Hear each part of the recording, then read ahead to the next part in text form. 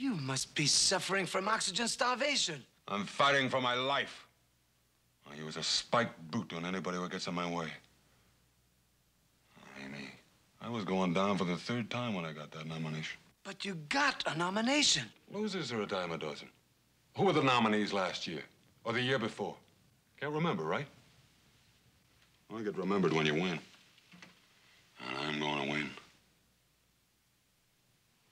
I need that, Oscar I Hymie, more than anybody.